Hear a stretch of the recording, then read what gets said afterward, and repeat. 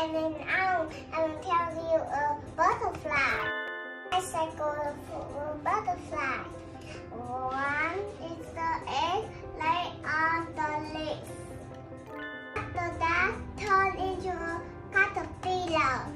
After that, the caterpillar is so many leaves.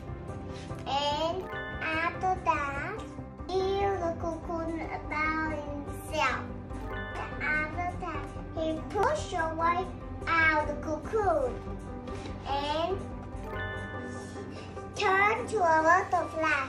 The butterfly so beautiful. Listen to me. Thank you.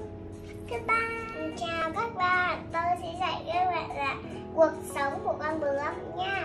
Đầu tiên, quả trứng nằm trên cái lá. Rồi, nó nó nó khi nó sinh ra thành con sâu bướm.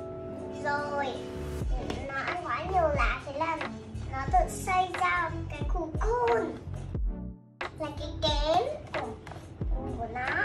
Thế là bây giờ uh, nó, nó, nó vỡ cái kén ra nó, nó, nó, nó lấy cánh đập vỡ ra.